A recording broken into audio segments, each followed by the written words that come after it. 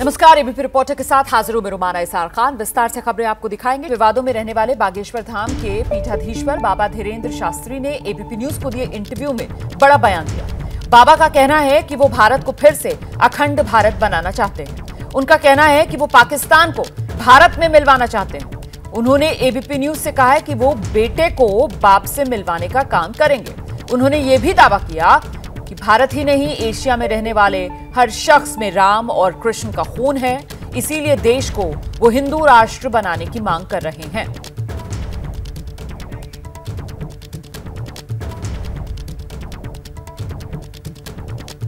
अखंड भारत क्या है? जो पहले था। क्या था पहले? जितने देश भारत से पाकिस्तान कहाँ था पहले? तो किस देश में पाकिस्तान था? को तो किस देश में था? हम अरे हम आपसे पूछ रहे हैं किस देश में था? नहीं नहीं हिंदुस्तान उसका हिंदुस्तान- पिता है भाई। बाप है ना? हाँ। तो बस बेटे को बाप से मिलवाने का काम करेंगे। लेकिन आप तो कह रहे हैं हिंदू राष्ट्र वो तो मुसलमान मुल्क है। उनके लिए मुसलमान है। भारत के एशिया का दुनिया का रहने वाला प्रत्येक व्यक्ति अपने दिल पर हाथ रख कर के अगर सच बोले ना तो उसकी दिल में उसके दिमाग में उसकी रगों में रामकृष्ण का ही खून बह रहा है। हमें सिर्फ़ हिंदुओं से, चाहे वो कोई भी सरकार हो, हिंदुओं से हम ये कहेंगे कि तुम सिर्फ़ हिंदू राष्ट्र मांगो, बना करके रहो। बस हमारी ये मांग है। हमें नहीं पता कि तुम कैसे करोगे। हिंदू अपने आप निर्णय लेंगे सनातनी निर्णय लेंगे लेकिन जब एक तिहाई लोग बोलेंगे एक परसेंट लोग ना भी बोले तो कोई फ़र्क नहीं पड़ता। एक तिहाई की मांग सरकार को मांगनी पड़ेगी क्योंकि लोकतांत्रिक देश है और वोट बैंक का जमाना है। तो वोट बैंक के जमाने में जहाँ वोट बैंक का बल होता है वहीं पर सरकार का झुकाव होता है। तो फिर आप में और पाकिस्तान में फ़र्क क्या रह जाएगा? पाकिस्तान और भारत में बाप बेटे में फ़र्क है। नहीं नहीं आप भारत में नहीं आप में और पाकिस्तान हम- हम कोई देश नहीं है। आपके हम कोई देश नहीं है। आपके विचार में और पाकिस्तान के विचार में अगर उनके हमसे विचार मिलते हो तो वो गलती कर रहे हैं उनको विचार बदलना चाहिए हम अपना विचार नहीं नहीं नहीं वो तो धर्म के आधार पर उन्होंने अपना देश बनाया। बनाया इसीलिए धर्म तो के आधार पर हिंदू राष्ट्र हम उन्हीं से मिल बनाने को कोशिश कर रहे हैं। नहीं तो फिर ये तो कट्टरता वाला विचार हुआ। अगर ये बात बाप को बाप कहना कट्टरता है तो ये बरकरार रहनी चाहिए। अगर आप अपने अब्बा को अब्बा कहते हैं और अगर ये कट्टरता की बात हम बोले कि तुम कट्टर हो तो क्या तुम कहना छोड़ दोगे? यस नो नहीं, नहीं छोड़ेंगे तो हम भी नहीं छोड़ेंगे। आप मेरे सवाल को नहीं समझ रहे हैं। हम आपके सवाल को समझ नहीं, चुके हैं। नहीं आप एक बार एक बार शांति से मेरे सवाल को बोलिए। मेरा सवाल ये है कि पाकिस्तान ने कहा कि हम सारे मुसलमान हैं हमको तो इस्लामिक मुल्क हम कहते हैं हम सारे हिंदू हैं पाकिस्तान वाले भी हिंदू हैं। सर आप सनातन को हिंदू से इस वक्त उसके जोड़िए मतलब कंफ्यूज हो जाएगा। ही नहीं। हाँ नहीं है बिल्कुल नहीं नहीं, है। अरे सूर्य और किरण। तो आप क्या करें किरण और सूर्य। सर उस लिहाज से तो फिर आप आप जैनियों को भी बुद्ध बुद्ध हमारे को भी आत्मा है। उन सबको हिंदू कैसे बना देंगे? सब हमारी हम आत्मा निकल रहे हैं है सब हमारी आत्मा जैसे आपकी सातवीं पीढ़ी सनातनी उनकी भी पीढ़ी सनातनी निकलेगी। वो तो आप मान रहे हैं ऐसा। मान नहीं रहे हैं। है। शास्त्री जी आपको नहीं लगता आप जिद कर रहे हैं? अगर हमारी जिद जायज़ है तो जा रहने दीजिए। और बहुत से ऐसे हैं जो कहते हैं नाजायज है आपकी जिद तो उनकी प्रॉब्लम है उनको मेंटली प्रॉब्लम होगी दवा करवाने दीजिए।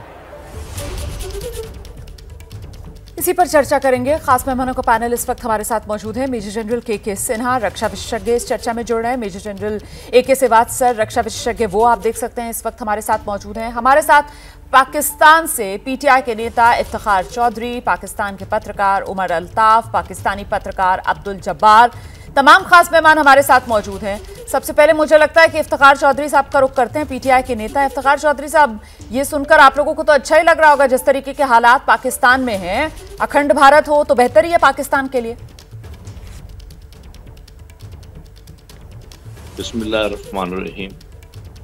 पहली बात तो ये है कि हमारे 1947 में जब हम आपसे आज़ाद हुए तो हमने बेहतरीन फैसला किया। जिस तरह आप सबको हिंदू बनाना चाहते हैं। हमने उस वक्त ही जाँच लिया था कि यहाँ पे रह के हमारा गुजारा नहीं है। बाकी रही माशी मामला की बात तो ये तो चलता रहता है। 90 में भारत भी मुश्किल का शिकार था। अमेरिका इस वक्त जो फौज के करीब है और क्या नाम है यूके की हालत बहुत पतली है तो कौमों में ऐसे मामला होते रहते हैं। लेकिन मैं सुन रहा हूँ कि आपके लोग भारत को बाप कह रहे हैं और पाकिस्तान को उसका बेटा कह रहे हैं। बेटा चौदह अगस्त को पैदा होता है बाप पंद्रह अगस्त को कैसे पैदा हो सकता है? हम है आपके बाप। हमने आपको जब भी चाहा इस पूरे देश में हम अफ़गानिस्तान से मुसलमान निकले सर कौन बाप कौन बेटा? सर सर कौन बाप कौन बेटा? ये जो चौदह और पंद्रह का खेल आप खेल रहे हैं यहाँ पर हमारे साथ जो खास मेहमान हैं वो आपको बेहतर तरीके से इसका जवाब देंगे। आइए जनरल सिन्हा। रोमाना, जय हिंद। देखिए, आज चर्चा का विषय एक यू नो हिस्टोरिकल है और उसकी प्रोस्पेक्टिव्स है आज के डोमेन में ट्वेंटी फ़र्स्ट सेंचुरी के अंदर में, जिसके अंदर बातचीत हो रही है। तो ये कहना बाप बेटे की लड़ाई, हम परफेक्ट की बात करें, हम तथ्यों की बात करें। देखिए, पूरे विश्व के अंदर में ऐसा होता रहा है। जहाँ से आप निकलते हैं, फिर वो संयुक्त बनता है, फिर टूटता है, फिर बिखरता है, फिर बनता है। बनता बिगड़ना बाप बेटी की लड़ाई नहीं होती है। मगर ये सच्चाई है। पूरा विश्व जानता है, आज भी इंडियन पेनुसुला के नाम से तो विख्यात है। साउथ एशियन का सारा का एक संगणना ही एक ऐसा है प्रकल्पना जो कि एक पेंसुला था, एक उसको सब कॉन्टिनेंट कहते हैं।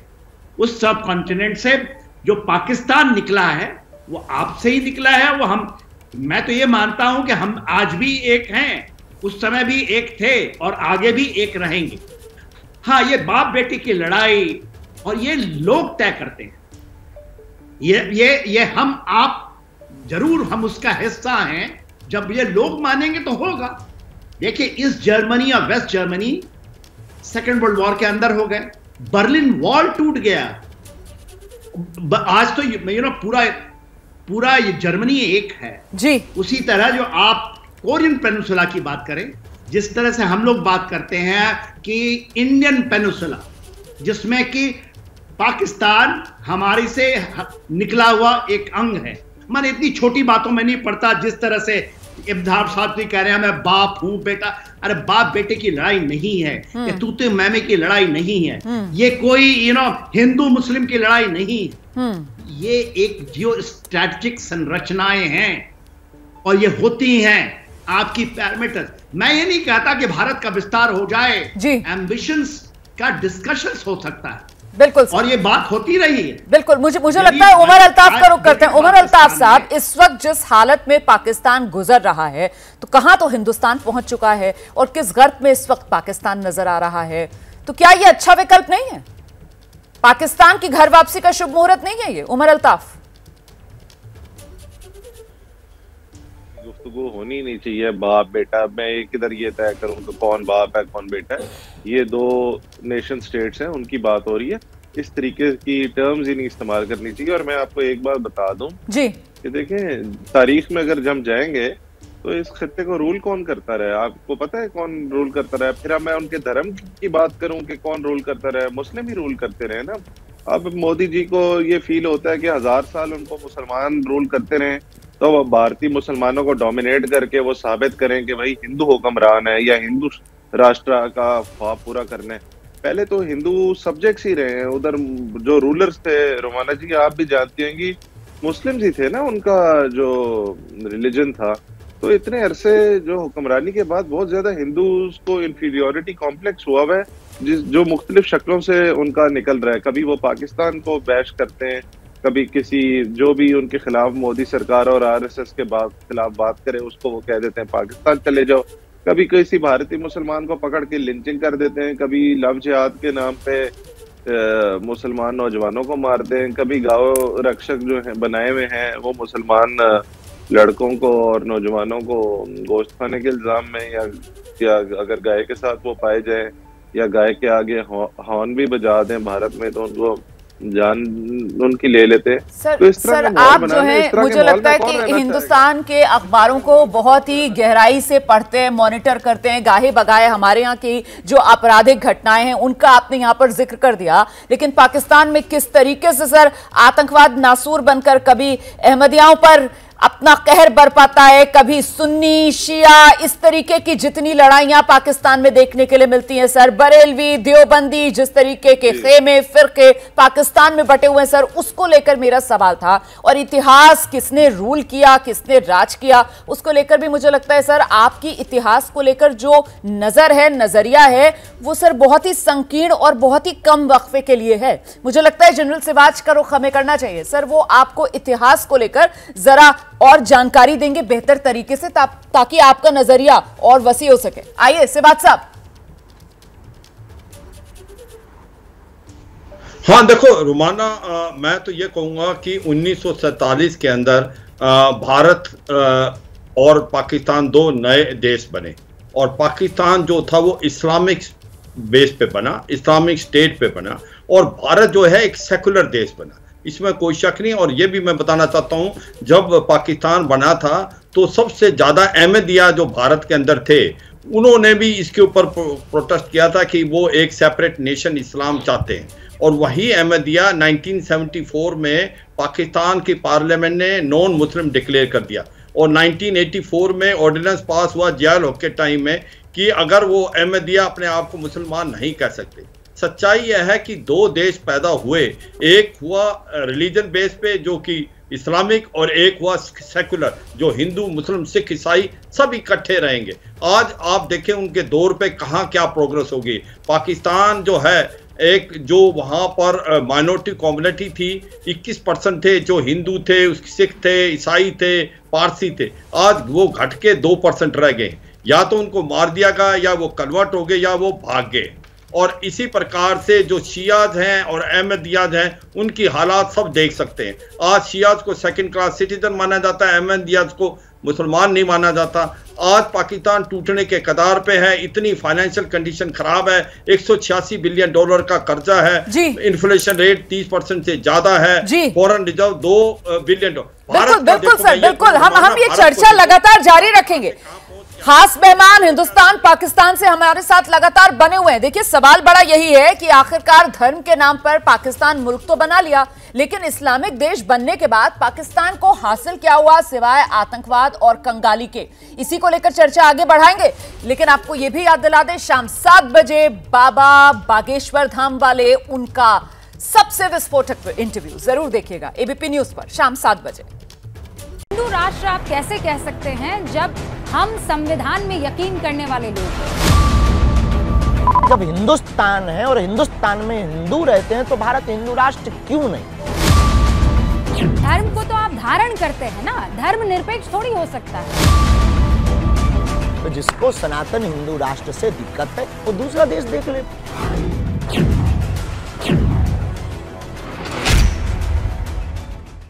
इस बीच आपको बता दें, बागेश्वर धाम वाले बाबा धीरेन्द्र शास्त्री ने इस इंटरव्यू में जो विस्फोटक बातें कही हैं, बाबा की तरफ़ से फिर से दोहराया गया, हिंदू राष्ट्र बनाना चाहते हैं। जिनको दिक्कत है, अपना पासपोर्ट बनवा लें, ये बाबा कह रहे हैं। सनातन के लिए मैं प्राण भी दे सकता हूँ, ये बाबा ने कहा है। तो पूरा इंटरव्यू शाम सात बजे आपको दिखाएँगे। तमाम खास मेहमान हमारे साथ बने हुए और जिस मुद्दे को लेकर हम चर्चा कर रहे हैं, बाबा की तरफ़ से जो कहा गया है कि अखंड भारत वो बनाएँगे। जरा पहले सुन लीजिए आप। दिक्कत तो इस बात पर है ना कि आप कानून को नहीं समझ रहे आप हम कानून को के साथ हैं। हमारे संविधान ने हमारे पूर्वजों ने संविधान स्वीकार किया हम डॉक्टर भीमराव अंबेडकर के पक्षधर हैं। तो फिर वो जब कह रहे हैं पंथ निरपेक्ष हाँ, तो, तो धर्म निरपेक्ष नहीं कहा ना। कैसे? तो धर्म निरपेक्ष नहीं धर्म पंथ निरपेक्ष आप तो मुझसे ज़्यादा इसमें जानकार है। धर्म को तो धारण अभी आपकी पढ़ाई इसमें कमज़ोर नहीं नहीं मैं आपको बता रही हूँ धर्म को तो धारण कहते धर्म धर्म सनातन हमारे जो धर्म धारणा का विषय है। डेफिनेशन ये दी गई धर्म है। धारणा का विषय है धर्म सनातन है बाकी पंथ है तो सनातन धर्म का मुद्दा हिंदू राष्ट्र है और क्योंकि हिंदू और सनातनी में कोई अंतर नहीं दोनों पर्यायवाची हैं तो भारत हिंदू राष्ट्र हो। मैं आपको ये पढ़कर सुनाती हूँ। यहाँ पंथ निरपेक्ष का अर्थ है कि भारत सरकार धर्म के मामले में तटस्थ रहेगी। उसका अपना कोई धार्मिक पंथ नहीं होगा। देश के सभी नागरिकों को अपनी इच्छा के अनुसार धार्मिक उपासना का अधिकार होगा। भारत सरकार ना तो किसी धार्मिक पंथ का पक्ष लेगी और ना ही किसी धार्मिक पंथ का विरोध करेगी। ये हमारे सरकार ना पक्ष ले रही है सरकार ना विरोध कर रही है भारत के रहने वाले नागरिक हिंदू राष्ट्र की मांग कर रहे हैं, लाखों करोड़ों लोग मांग कर रहे हैं। कटनी में रहने वाले मुस्लिम युवा कमेटी के अध्यक्ष ने भी बागेश्वर धाम सरकार के समर्थन में ज्ञापन दिया। मुसलमान भी सपोर्ट कर रहे हैं, सिख भाई भी सपोर्ट कर रहे हैं, सभी शंकराचार्य महंत भी सपोर्ट कर रहे हैं। अब किसको दिक्कत है, जिनको दिक्कत है, वो पासपोर्ट बनवा ले, टिकट की व्यवस्था आप कर दीजिए।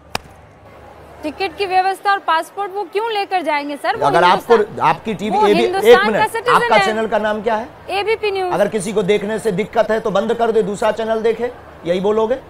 अरे आपके वो चैनल से किसी, में है ना सर वो भारत में है। किसी को परेशान हिंदू राष्ट्र आप हमारा जवाब दीजिए हम आपका इतना दे रहे हैं। एबीपी चैनल से किसी को दिक्कत है क्या करे?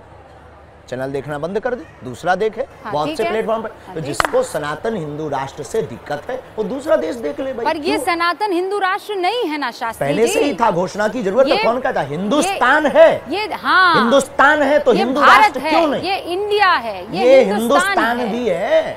ये हिंदू हिंदुस्तान है तो हिंदू राष्ट्र है। शास्त्री जी आप कह रहे हैं कि हिंदू राष्ट्र के लिए काम कर रहे हैं। आप ये कह रहे हैं कि आपके साथ कोई भी ताकत नहीं है सिर्फ़ पता लगा ले। बागेश्वर धाम। आपसे ज़्यादा समझदार और आपसे ज़्यादा पता लगाने वाला इस दुनिया में कोई नहीं है। आप लोगों के पास वो पता होते हैं जो किसी के पास पता नहीं होता तो पता लगा लीजिए। आप पत्रकार हो और आपको आपकी नौकरी भी यही है ड्यूटी भी यही है। तो बताइए योर ड्यूटी आप ड्यूटी पूरी करिए। अचानक कोविड काल के बाद आपकी चर्चा इतनी क्यों होने लगी? पता नहीं। वजह थी? सोशल मीडिया पे कई लोगों ने वीडियो डाले। पहले भी दरबार लगता था लोग पहले भी आते थे। बस यू मानो अब ज़्यादा लोग आने लगे। पहले भी दरबार लगाते थे। पहले भगवान की कृपा है कि पहले टीवी पे नहीं आते थे तो ये विवाद नहीं होता था। ये मुँह चलाने वाले इतना मुँह नहीं चलाते सब जयकारा करते थे। लेकिन दो फ़ायदे। तो इतने कंट्रोवर्शियल दे देते हैं। देना भी चाहिए भारत में बोलने का अधिकार है सनातन के पक्षधर कंट्रोवर्सियल कितनी विचित्र बात। अच्छा गजवा ये हिंद हो सकता भगवा ये हिंद बोले तो कंट्रोवर्सियल होगा। भगवाए हिंद? अद्भुत अच्छा बात है। आप आप भी अद्भुत बात है पता नहीं। है वो तो कंट्रोवर्शियल है ही सर हाँ तो नो हिंद भी कंट्रोवर्सियल हो गया। हाँ तो वो इसीलिए तो इसीलिए तो मैं बोल रही हूँ कि ये ये कंट्रोवर्सी क्यों क्रिएट करनी हिंदुस्तान कोई कंट्रोवर्सी नहीं कोई अच्छा मुझे ये बताइए आपके मुसलमान मित्र हैं? बिल्कुल हमारे हमसे तो 600 मुसलमान हमारे डिवोटी है। शिष्य हैं। और आपके जैसे ही। आते हैं मानते बात करते हैं। उनकी जो भी बात होती है वो उसको अपने ईश्वर से प्रार्थना करते हो प्रेम पूर्वक हमने ये नहीं कहा कि तुम सनातन स्वीकार करो हमने ये नहीं कहा कि हम ही सर्वोपरि हैं। आप अपने ईश्वर को मानो लेकिन आप हमारी बात से टोक नहीं सकते रोक नहीं सकते हम जो कह रहे हैं उस पर तुम लगाम नहीं लगा सकते। हु आर यू कौन लगा रहा है आप पे लगाम? आप लोग जो बोल रहे हैं आपने कहा ना कि लोग ऐसा कह रहे हैं। हम्म। क्यों कह रहे हैं? तो वो तो सनातनी भी है जो आप पर आरोप लगा रहे हैं। वो हमें देखो सीधी बात बोले। केवल इस्लाम हमारा किसी भी पंथ से विद्रोह नहीं है। नहीं है। हमारा विद्रोह सनातन विरोधियों से है।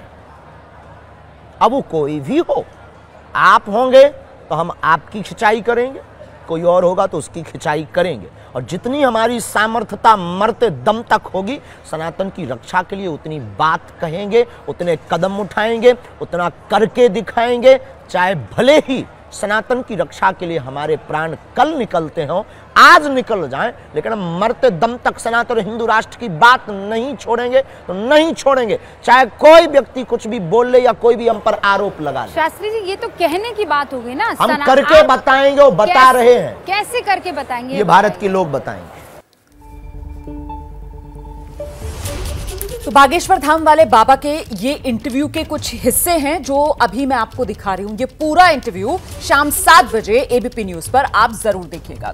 इस बीच जिस मुद्दे को लेकर हम चर्चा कर रहे हैं, एक बार फिर से अपने खास मेहमानों का रुख करेंगे और मुझे लगता है एक बार फिर से जरा पीटीआई के नेता इफ्तार चौधरी साहब के पास हम लिए चलते हैं दर्शकों को और उनसे समझने की कोशिश करते हैं। इफ्तार चौधरी साहब, ये तो आप मानेंगे कि पाकिस्तान नाम का जो प्रयोग आप लोगों ने किया, वो एक्सपेरिमेंट फेल हो चुका है सर। ऐसे में अगर कोई एक्सपेरिमेंट फेल हो जाए सर तो फिर गलती मानने में क्या हर्ज? सुधार लीजिए गलती। देखें अगर आप पाकिस्तान को माशी मामला को देखकर ये बात कर रहे हैं कि पाकिस्तान का वजूद ही खतरनाक था तो मैं ये समझता हूँ कि आप भी बाबा जी की बात कर रहे हैं। जिस तरह वो रुबीका को बता रहे हैं कि चले जाएँ पाकिस्तान अगर कोई नहीं नहीं मानते इस्लाम को जो मानते हैं वो इधर चले जाएँ। इस तरह ना काम कीजिएगा। नहीं नहीं वो ऐसा कुछ नहीं कह रहे सर। आप आप उनके बयान को अपनी ढाल मत बनाइए। मैंने जो आपसे सवाल पूछा आप प्लीज़ उसका जवाब दीजिए। बागेश्वर धाम वाले बाबा तो कह रहे हैं अखंड भारत बनाएँगे। पाकिस्तान वापस हिंदुस्तान में मिल जाएगा। और मैंने आपसे सवाल उसको लेकर पूछा वो कि तो एक्सपेरिमेंट गलत हो गया पाकिस्तान वाला प्रयोग तो फिर सुधारने में क्या हर्ज है? नहीं तो ये कोई गलत नहीं। पाकिस्तान अल्हम्दुलिल्लाह बिल्कुल टू नेशन थ्योरी के ऊपर कायम है। और चौधरी रहमत अली ने 1915 में ही कह दिया था कि इन लोगों के साथ नहीं हमारा गुजारा जो हिंदू पानी और मुस्लिम पानी की बात करते हैं। और तो और आप मुस्लिम कमर्शियल बैंक और हिंदू कमर्शियल बैंक तक बन गए थे। तो आपके साथ तो रहना ही ऐसा है कि आप, आपके लिए हमारे, आप लोगों ने बर्तन अलग से कर दिए थे। कुदरतुल्ला शहाब जो है, वो इंडियन सिविल सर्विस के मुलाजम थे। तो वो एक दफ़ा उन्होंने खाना खाया और एक साल बाद उनकी दावत हुई तो वही बर्तन उनके सामने रखे गए। तो पूछा गया कि ये क्या है? तो वो कहने लगे कि हम मुसलमानों के लिए अलग से बर्तन रखते हैं। नहीं नहीं अगर आपका इफ्तिकार ये चौधरी साहब मुझे लगता है जनरल सिन्हा का मैं रुक करूँगी। सर यहाँ पर ये इफ्तिकार चौधरी साहब जिस तरीके की बच्चों जैसी बातें कर रहे हैं बर्तन अलग कर दिए थे जी पानी का ग्लास चाय का कप अलग कर दिया था। सर हम तो 1947 के बाद से आज तक संविधान के अनुरूप चलकर अपने भेदभाव मिटाकर एकजुट होकर सर इस वक्त विश्व गुरु बनते हुए दुनिया में नज़र आ रहे हैं। और आप लोग देख लीजिए सर। आप लोगों ने ला इलाहा इल्लल्लाह के नाम पर सर जो मुल्क बनाया वो देख लीजिए किस तरीके से फिरकों में बटा हुआ है। जनरल सिन्हा देखिए रोमाना है। जो अफ्तार चौधरी साहब बात कर रहे हैं और आप जो कर रही हैं कह रही हैं कि द एक्सपेरिमेंट आपका फेल हो गया। ये कह रहे हैं बार बार टू नेशन थ्योरी। ये बताइए यदि टू नेशन थ्योरी रहा? कैसे बांग्लादेश हो गया? वो तीन nation three nation you know theory आ गया क्या? वो भी तो अलग हो गया। टू नेशन कहाँ रहा? वेरी इंटरेस्टिंग तो ये देखिए ये ये पॉसिबिलिटीज जो हैं ये जियो पॉलिटिकल डोमेन में होती है। और आपका यू नो बहुत बड़ा सबसे बड़े जो इसके नेता मैं मानता रहा हूँ खान अब्दुल गफाल खान। उनको हम फ्रंटियर गांधी कहते थे। और गांधी का यह कहना था? और जिन्ना की बात जो कह रहे हैं आप जो टू नेशन थ्योरी की थ्योरी लेकर आए थे।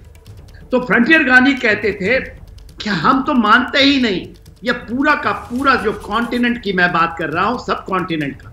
हो सकता है जो बाबा साहब बाबा जी बोल रहे हैं उनके बात में वो चीज़ यू जो जो एक होता है परफेक्टता नहीं दिखती हो वो घुस जाते हैं कहीं कहीं सनातन। वो कहते हैं अपने धर्म को मानो। वो कहते हैं हमारे भी अनुयायी हैं। बिल्कुल। ये हिंदू मुस्लिम की इस्लाम बिल्कुल सर बिल्कुल हम बिग पिक्चर की बात कर रहे हैं। जल्दी से जल्दी से एक रिएक्शन अब्दुल जब्बार साहब।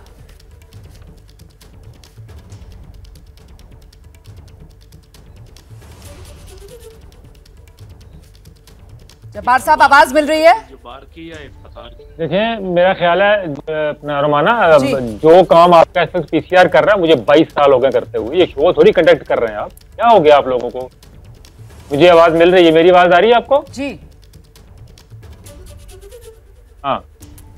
देखिए हाँ जी सवाल कीजिए आप सवाल कीजिए। वही सवाल है सर। एक्सपेरिमेंट फेल पाकिस्तान का। टू नेशन थियरी से थ्री नेशन बन गए जिस बात का ज़िक्र जनरल सिन्हा कर रहे थे? तो फिर क्यों ना इस पॉसिबिलिटी को क्यों ना इस पॉसिबिलिटी को तलाशा जाए कि साहब दोबारा से क्या? पाकिस्तान हिंदुस्तान में मिल जाए अखंड भारत? ये शास्त्री ये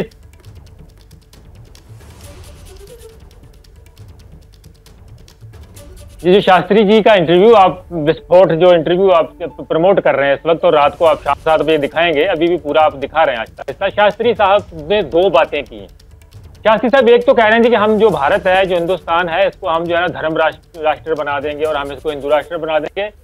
और दूसरा वो कह रहे हैं जी कि हम इसको अखंड भारत बनाएँगे। देखें, पहले वाले हिस्से पे तो हमें कोई दिक्कत नहीं। आपने खुद फैसला किया था कि जी कि आपका देश जो है वो एक सेकुलर देश होगा। अब आप फैसला कर रहे हैं जी कि आपका देश एक कट्टरपंथी के साथ एक जो है वो हिंदू देश होगा। आप उसको हिंदू देश बनाइए, आप उसको जो मर्ज़ी, जैसा भी देश बनाइए, वो आपका राइट है। आप अपना संविधान उठाइए, बदलिए चेंज किए और बना लीजिए। दूसरी बात यह कि आप अखंड भारत की बात कर रहे हैं। उस पर मैं जो जो जो चर्चा करना चाहूँगा, वो ये है कि आप लोग आपके यहाँ पैनलिस्ट और शास्त्री साहब भी, ये पाकिस्तान को, इन्होंने सिर्फ़ पाकिस्तान के बारे में सुना है। ये आप लोग पाकिस्तान को ना देखा है, ना जानते हैं और ना पाकिस्तानियों को जानते हैं। आपने पाकिस्तान को सिर्फ़ बॉलीवुड के लेंस से देखा है। आपके पास, आपके लिए पाकिस्तान की जानकारी सिर्फ़ जो वो है जो वहाँ बैठ के जो क्या बात जो कर रहे हैं जब्बार साहब? मुझे लगता है जनरल सिवाज बताएँगे किस तरीके से पाकिस्तान को उन्नीस सौ बातें 1965 बार-बार आप इकहत्तर और करगिल के दौरान देखा है सर? बहुत करीब से देखा है सर? और ऐसा देखा है सर कि आपके जो रहनुमा है प्रधानमंत्री है वो तक बताते हैं कि साहब इस हाल में छोड़ा है हिंदुस्तान ने पाकिस्तान को कि पाकिस्तान उभर नहीं पाया। क्या बात कर रहे हैं सर? आप आप देखा। कहानियों और फसानों से बाहर निकलिए सर। बॉलीवुड से आप बाहर निकलिए। आपने शायद हिंदुस्तान को सिर्फ़ बॉलीवुड ही समझा है सर। जनरल सिवाच हाँ, ये किसने कहा? हर ये किसने हाँ कहा देखो रुमाना मैं एक बात बताना चाहूँगा। देखो सच्चाई ये है ये कि रुमाना कि क्या ना बिल्कुल। जी जी जी अभी सर प्लीज़ आइए सर प्लीज़ आइए। रुमाना ये सच्चाई है कि, दिल किया, फ़िल्म बनाई पिक्चर बनाई और खत्म कर 65 की लड़ाई हुई 71 में हुआ 71 में पाकिस्तान के दो हिस्से हो गए और उस हिस्से होने का मतलब यही था कि जो वेस्टर्न पाकिस्तान था, उसने जो एट्रोसिटी की थी ईस्ट पाकिस्तान पे, मुसलमान होने के साथ साथ भी उन्होंने किया। कितने रेप, कितने लोगों में जेनोसाइड हुआ। अभी भारत की जब बात करते हो भारत एक सेकुलर स्टेट है वो सेकुलर रहेगा। इसके अंदर धर्म के ऊपर कोई भी बंटवारा नहीं है। हिंदू मुसलमान सिख ईसाई सब। हमारा कॉन्स्टिट्यूशन सबसे बड़ा है। बिल्कुल सर हमारा कॉन्स्टिट्यूशन हमारा संविधान सर्वोपरि और सवाल जो हम लेकर आए हैं वो सिर्फ़ इस वजह से क्योंकि पाकिस्तान इस वक्त जिस जिस दुर्गति को झेल रहा है उसके बाद ये तो पूछना लाजमी है ना कि साहब वो प्रयोग पाकिस्तान बनाने का फेल हो गया है तो फिर क्यों ना अब अखंड भारत की बात आगे बढ़ाई जाए? बहुत शुक्रिया आप सभी का मेरे साथ जुड़ने के लिए। शाम सात बजे एबीपी न्यूज़ पर बागेश्वर धाम वाले बाबा का सबसे विस्फोटक इंटरव्यू देखिएगा ज़रूर। कानपुर में अतिक्रमण हटाने के दौरान माँ बेटी की मौत को लेकर योगी सरकार एक्शन में है। इलाके के एसडीएम हटा दिए गए हैं। लेखपाल को सस्पेंड किया गया है। सरकार ने कहा, आरोपियों के खिलाफ कड़ी कार्रवाई हो रही है। रात भर इस मामले में काफ़ी हमने अधिकारियों से बात किया है।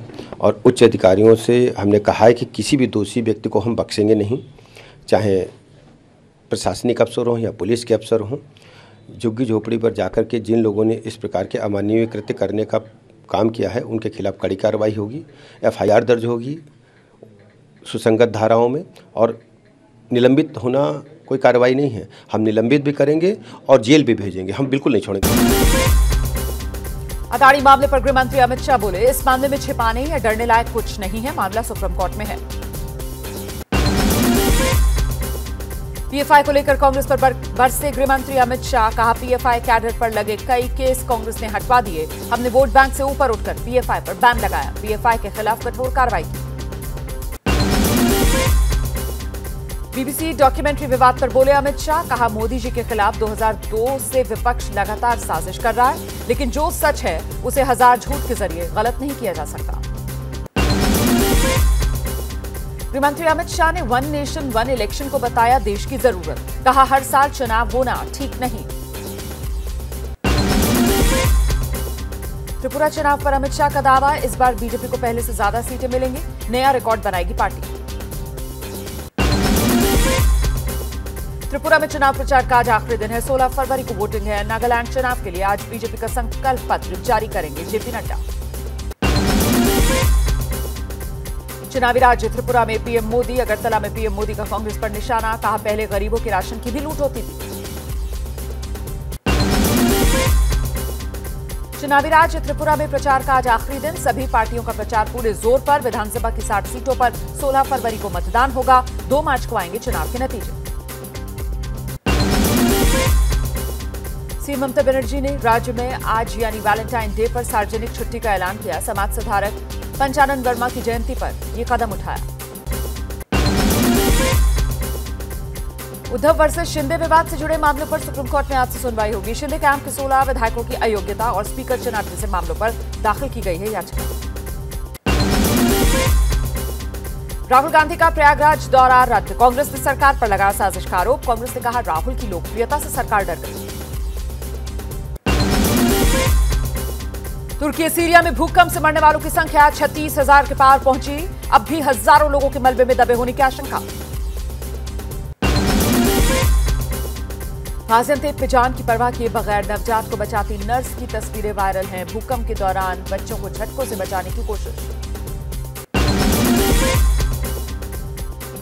भूकंप पीड़ित लोगों की लगातार मदद कर रही भारतीय एनडीआरएफ की टीम। एनडीआरएफ अधिकारी ने कहा, दुख की इस घड़ी में हिंदुस्तान तुर्की के साथ। हेते इलाके से हैरान करने वाली तस्वीरें सामने आई। भूकंप के बाद जैतून के खेत के हुए दो टुकड़े 200 मीटर चौड़ी खाई बन गई। सीरिया पहुँचे संयुक्त राष्ट्र के प्रतिनिधि ने कहा है, तुर्की और सीरिया में जल्द खत्म होगा रेस्क्यू का काम। शेल्टर, फ़ूड और इलाज पर दिया जाएगा ध्यान। भूकंप के बाद तुर्की और सीरिया ने कड़वाहट बुलाई तुर्की ने भूकंप में मारे गए सीरिया के नागरिकों के शवों को ले जाने के लिए बॉर्डर खोला। भूकंप से टूटे तुर्की में दरार के बीच से एबीपी न्यूज़ की रिपोर्टिंग। प्रणय उपाध्याय उस जगह पहुँचे जहाँ 100 फीट गहरी 200 मीटर बड़ी दरार बन गई है। भूकंप से तुर्की को कम से कम चौरासी बिलियन डॉलर का नुकसान हुआ है, जो जीडीपी का 10 फ़ीसदी हिस्सा है। उबरने में लगेगा काफ़ी वक्त। तुर्की के ग्रामीण इलाकों में भी भूकंप से भारी तबाही गाँव तक पहुँच रही है सबसे कम मदद, लोगों के पास शेल्टर के लिए कुछ भी नहीं। भूकंप की तबाही झेल रहे तुर्की और सीरिया की मदद के लिए चीन भी आगे आया। बीजिंग से रवाना हुई राहत सामान की दूसरी सप्लाई। कमलनाथ के बागेश्वर धाम जाने पर बीजेपी के प्रदेश अध्यक्ष विष्णुदत्त शर्मा का तंज, बोले कांग्रेस और कमलनाथ, दोनों का चेहरा दोगला है। पंडोकर महाराज ने माइंड रीडर सोहानी को चुनौती दी, कहा, पर्चा बनाना कोई चमत्कार नहीं, मेरा दिमाग पढ़कर दिखाएँ। मैं पाँच लाख रुपए इनाम में दूँगा। बीजेपी एमएलसी नवल किशोर यादव का धीरेन्द्र शास्त्री पर हमला, कहा, बीजेपी संविधान को देखती है, भारत हिंदू राष्ट्र ही है। मौलाना अरशद मदनी के बयान का अखिल भारतीय हिंदू महासभा ने विरोध किया है। ओम और अल्लाह एक है, ये मानने योग्य नहीं। मौलाना अरशद मदनी को इलाज की ज़रूरत। हिंदू सेना ने दिल्ली पुलिस को चिट्ठी लिखकर अरशद मदनी और महमूद मदनी के खिलाफ कार्रवाई की मांग की है। मौलाना अरशद मदनी ने अल्लाह और एम को ओम को एक बताया था। मौलाना अरशद मदनी पर केंद्रीय मंत्री गिरिराज सिंह का बयान, कहा, ये भारत में अमन चैन खत्म करना चाहते हैं। इन्हें बंटवारे के समय पाकिस्तान भेज देना चाहिए था। मौलाना अरशद मदनी के बयान को लेकर बजरंग दल कार्यकर्ताओं ने देवबंद थाने में शिकायत की है। मदनी पर हिंदुओं की भावनाओं को ठेस पहुँचाने का आरोप लगाया। मौलाना मदनी के बयान पर भड़क गई हैं बीजेपी के नेता रूबी आसिफ खान। कहा, मदनी अपने बयानों से बाज आए। इंसान जब जन्म लेता है, तब वो सनातन धर्म में ही होता है। मदनी के बयान का एसपी सांसद डॉक्टर शफीकुर रहमान बर्क ने विरोध किया। कहा, वो जिसको मानते हैं, माने। मुस्लिम अल्लाह को मानते हैं, हिंदुओं को मानते हैं। अखिल भारतीय हिंदू महासभा के अध्यक्ष चक्रपाणी महाराज का मदनी पर पलटवार। कहा, मदनी मनुजी महाराज को मानते हैं। वो सनातनी थे। मदनी भी सनातनी है। पूर्व केंद्रीय मंत्री मुख्तार अब्बास नकवी का अरशद मदनी के बयान पर हमला। कहा, कुछ लोगों को कंफ्यूजन फैलाने की आदत है। पहले खुद को सुधारे मदनी। जैसे ही घड़ी का काटा दोपहर ढाई पे आए, बबीता जी का दिल सास बहू साजिश के लिए मचल जाए। और ये है इनकी बहू। पूरे दिन ऑफ़िस की टेंशन हो जाए गॉन जब ये करें अपना फेवरेट शो फ्री टाइम पे ऑन इनकी तरह आप भी देखिए अपना फेवरेट शो अपने टाइम पर। और डाउनलोड कीजिए एबीपी लाइव ऐप अपने स्मार्ट टीवी पर।